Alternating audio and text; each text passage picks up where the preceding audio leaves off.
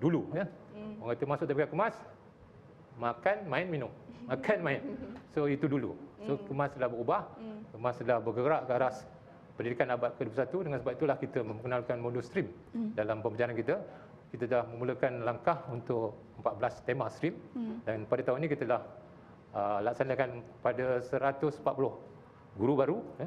So pada tahun depan kita akan fokus lagi pada 500 kelas ya untuk pelaksanaan modul stream di tabika-tabika kemas dan kita telah bangunkan modul e-stream. Uh, kemas telah mendahului dari segi pendidikan ke arah abad 21 ni kita dah ada modul e-stream yang akan kita laksanakan di seluruh tabika kemas di seluruh negara nanti ya.